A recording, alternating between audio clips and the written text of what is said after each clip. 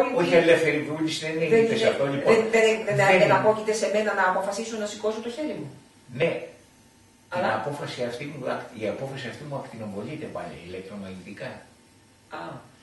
Που έγκυται η ελεύθερη Ε, που βούληση. έ- αυτό πάω να Που ρωτήσω. Άρα έγκυται- πώς είναι ελεύθερος; Όταν σηκώσω το χέρι μου, Ναι. να μην σκοτώσω άνθρωπο ή να το χαϊδέψω. Α, στο πώς θα χρησιμοποιήσω Στο πώς θα λοιπόν, την χρησιμοποιήσω κίνηση μου. αυτή την κίνηση. Ναι. Εδώ είναι η ελευθερία βούλησης. Αυτό είναι προαπόφαση. Μπορώ να τα Το κάνω καλό είναι όλα. το κακό. Όχι, όχι. Αυτό είναι η ελεύθερη βούληση δική μου. Άρα δεν είναι προαποφασισμένο Όχι. αυτό. Γι' αυτό όταν σηκώσω λοιπόν το χέρι μπορεί να κάνω το σταυρό μου Ναι. ή μπορώ να αρπάξω Και ένα μπορώ- όπλο και να σκοτώσω. Μπορεί το Ας πούμε. χέρι μου να παίξει χιλιάδες σενάρια. Κατάλαβα. Αυτά είναι Μάλιστα. Να σε δούμε τους ελεύθερη παρατηρητές. Ποιοι είναι οι παρατηρητές σε αυτή την περίπτωση; Ναι, Όχι οι ενδιαφέρον. παρατηρητές για την αρχαία περίοδο που βλέπανε τους Ναι, ποιοι αστερισμού είναι οι παρατηρητές που και το είπε σχέδιο του ακριβώς; Θεού στους αστερισμούς. Αυτό που είπε ο κ. Αξιωμάτα. Αυτοί που παρατηρούσαν λοιπόν. Ναι. Εδώ, αν μπορεί να δείξει η κάμερα, ε, έχουμε μια αναπαράσταση ζιγκουράτ όπως έχει ανακαλυφθεί το 1894 σε ένας καφές στη Σιπάρ. Η Σιπάρ ήταν μια πόλη πολύ κοντά στην αρχαία Βαβυλώνα, όπου εκεί αυτό το ζιγκουράτ που βλέπετε ε, χρησιμοποιείται και σαν αστεροσκοπείο.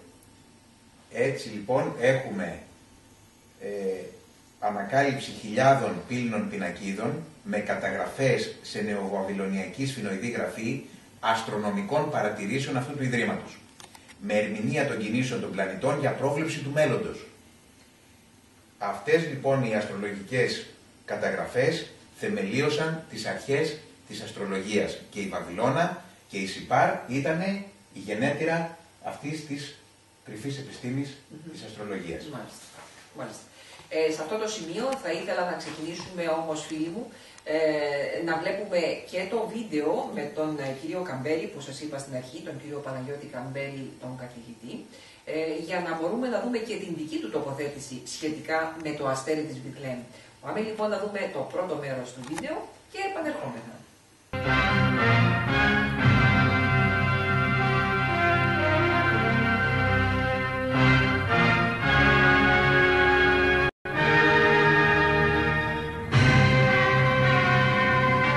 Τις ημέρες των Χριστουγέννων γίνεται πάντοτε από τους τηλεοπτικούς σταθμούς μια σύντομη και επιπόλαιη μνήα για το τι ήταν το άστρο της γεννήσεως του Ιησού.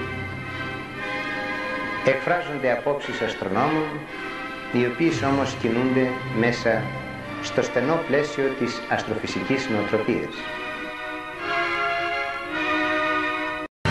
Έτσι, το μόνο που ακούμε είναι ότι ήταν μία σουπερνόβα ή ένας κομήτης ή μία σύζευξη πλανητών. Πώς όμως είναι δυνατόν και επιτρεπτόν να εκφέρονται γνώμες χωρίς να φαίνεται ότι έχει μελετηθεί και αναλυθεί πλήρως το υπόμνημα της Καινής Διαθήκης.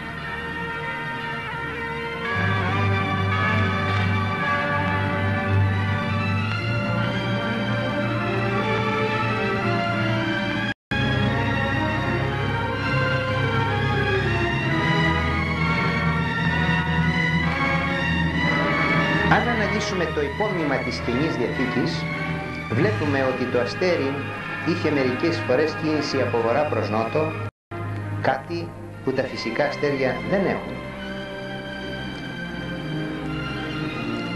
Άλλοτε εκινήτω και προπορεύεται των μάγων και άλλοτε στεκόταν πάνω από το σπίτι του Ιησού.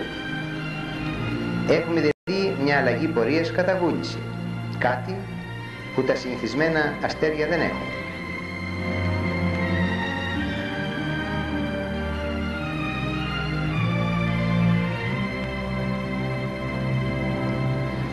Ο Κέπλερ διατύπωσε τη γνώμη ότι κινείται στο κατώτερο τμήμα της ατμόσφαιρας. Ένα φυσικό αστέρι δεν λάμπει αποκλειστικά επάνω σε ένα σημείο και ούτε δείχνει ένα σπίτι.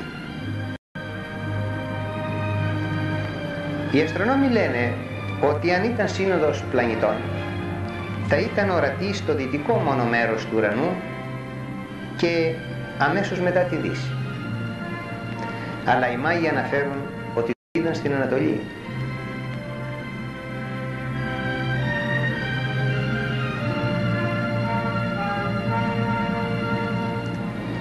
Το συμπέρασμα είναι ότι το αστέρι εκείνο ήταν όχημα που ελέγχεται κατά βούληση από νοημότητες.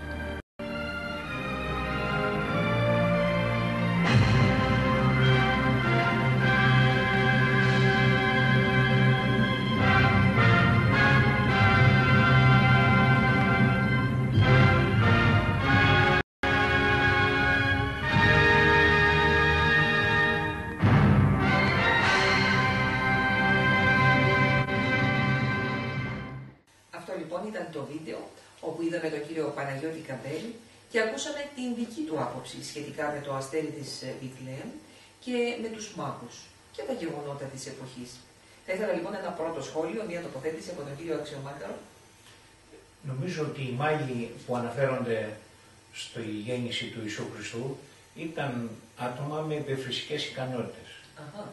Άρα διαισθητικά προσέλαβαν το μήνυμα ότι το τι μέλη γενέστε. Και θεωρώ ότι ήταν οι πρώτοι παρατηρητές που ήρθαν σε επαφή με το άστρο της Βιθλέμ. Άρα έχουμε Και πάλι το το ακολούθησε. φαινόμενο των παρατηρητών Οι εδώ. παρατηρητές είναι πολύ σημαντικό. Ναι. Ε, Και γιατί- βέβαια αυτό πάλι ήρθε μέσα από τη συμπαντική συνείδηση, προσέλαβαν την πληροφορία του τι θα γίνει και ετοιμάστηκαν και πήραν τον δρόμο. Πιστεύετε λοιπόν ότι καθοδηγήθηκαν ουσιαστικά από το αστέρι ή καθοδηγήθηκαν από τις πληροφορίες που πήραν από Διαισθητικά τη πήραν συμπαντική- πρώτα από τη διαισθητικά συμπαντική- από έτσι. τις πληροφορίες που πήραν διαισθητικά προηγουμένως γιατί ε, πρόκειται για υπερφυσικά άτομα, είχαν υπερφυσικές ικανότητες. Το μάγος εκείνη την εποχή νομίζω αυτό σημαίνει. Ναι. Άρα δίνεται μια τελείως άλλη εξήγηση στο γεγονός του, το γεγονός της γέννησης του Ιησού, του μεγάλου πανηγυριού του σύμπαντος, με όλα τα αστέρια να γιορτάζουν και κυρίως το μεγάλο αστέρι αυτό το οποίο ε, σαν φωτεινό σύμβολο ήρθε να οριοθετήσει το σημείο όπου γεννήθηκε ο Θεάνθρωπος. Μας λέτε όμως μια πληροφορία που ακούγεται ε, διαφορετική σε σχέση με αυτό που είδαμε στο βίντεο, ότι δηλαδή οι μάγοι είχαν υπερφυσικές ικανότητες και ότι τους ε, ακτινοβολήθηκε η πληροφορία πώς θα βρουν Τι τον θα Θεάνθρωπο, γίνει τι θα και γίνει εκεί. εκείνοι συνειδητά ακολούθησαν αυτό το, τη Μάλιστα. διαδικασία. Πολύ ενδιαφέρουσα Εγώ θα άποψη. διαφωνήσω εδώ με τον Να κύριο ακούσω την Αξιομάκαρο, διαφωνία λοιπόν. γιατί ήταν η τάξη που είχε γνώσεις. Μμ. Ο όρος μάγκη είναι χαλδαϊκός και περιγράφει τους αστρολόγους, αστρονόμους, σοφούς που ήταν και ιερείς των Χαλδαίων Βαβυλωνίων. Υπήρχε ένας υπεύθυνος όλων των μάγων που ήταν σύμβουλος του βασιλιά για πολιτικά και θρησκευτικά θέματα. Ο Ιερεμίας στο 39 κεφάλαιο και 3 εδάφιο τον αποκαλεί Ραβ Μάγκελ. Ραβ σημαίνει μέγας, ο μέγας μάγος δηλαδή. Ο Δανίλ λοιπόν διορίστηκε ηγέτης των μάγων όταν ερμήνευσε το όνειρο του Ναβουχοδονόσορ. Δανίλ Β48. Τότε ο βασιλεύς μεγάλινε τον Δανίλ και κατέσε αυτόν αρχιδιοικητήν επί πάντα στους σοφούς Βαβυλώνους. Έτσι λοιπόν μπόρεσε να διδάξει όλα αυτά που περίμεναν οι Εβραίοι σε αυτή την τάξη των μάγων. Και αυτοί δεν τα απέριταν, γιατί θεωρούσαν ότι αυτά είναι μηνύματα από τον ε, Θεό του ουρανού. Ναι. Όμως, όμως, κύριε Θεοδόση, είδαμε στο βίντεο προηγουμένως ότι ουσιαστικά η τοποθέτηση του καθηγητού, του κυρίου Καμπέρη, είναι ότι κάθε άλλο παρά έχουμε ε, σύναξη και ευθυγράμμιση ή οτιδήποτε πλανητών, έτσι όπως ε, κάποιος αστρονόμος θα μπορούσε να μας δώσει εξήγηση, όπως έχουμε ακούσει επανειλημμένα σε εκπομπές στην τηλεόραση. Μας μίλησε για κάτι που δεν το περιμέναμε. Είπε ότι ουσιαστικά έχουμε αστρόπλιο πάνω από το σημείο της γέννησης. Πώς κολλάει αυτό; Πρώτον, αυτά που θα αναφέρουμε απόψε είναι ε, από την μελέτη του Διονύσου Σιμόπουλου, του Διευθυντού του Πλανηταρίου Αθηνών, Ναι. για το τι βλέπανε στον ουρανό το 2 π.Χ. Πώς Επομένως, μπορούσαν να λοιπόν το δεν είναι βλέπουν, ερμηνείες, πώς μπορούσαν να θα το δούμε βλέπουν τι τότε; πραγματικά κάποιος έβλεπε στον ουρανό εκείνη την εποχή Ναι.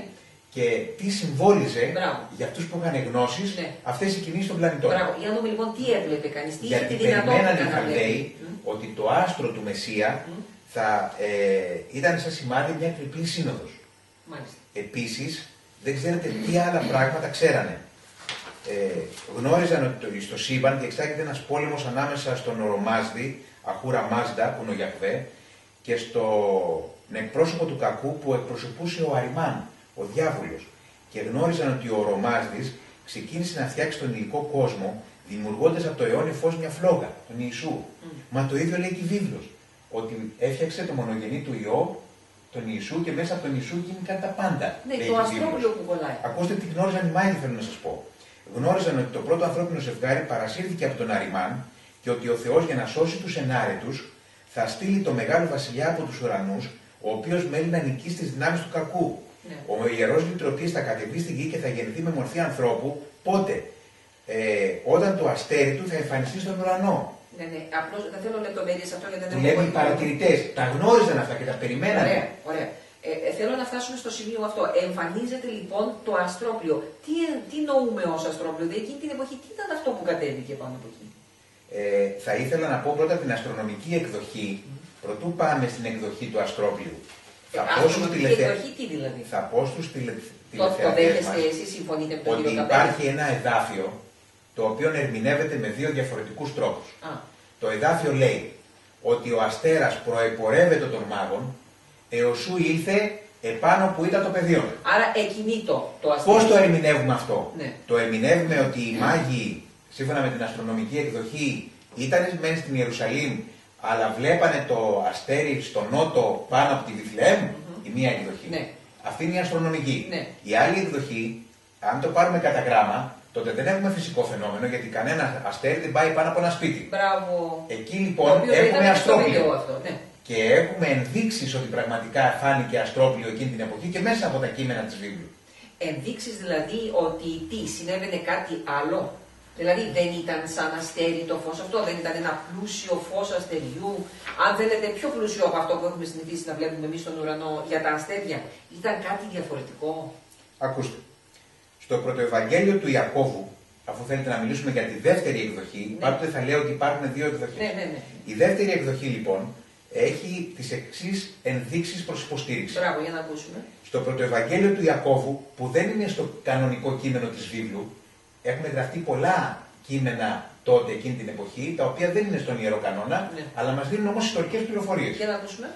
Τι λέει λοιπόν το πρώτο Ευαγγέλιο του Ιακώβου; Γίνεται μια περιγραφή ενός φαινομένου γύρω από το σπήλαιο της γέννησης που δεν αναφέρεται από τον Μαθαίο. Λέει λοιπόν ο, το πρώτο Ευαγγέλιο του Ιακώβου.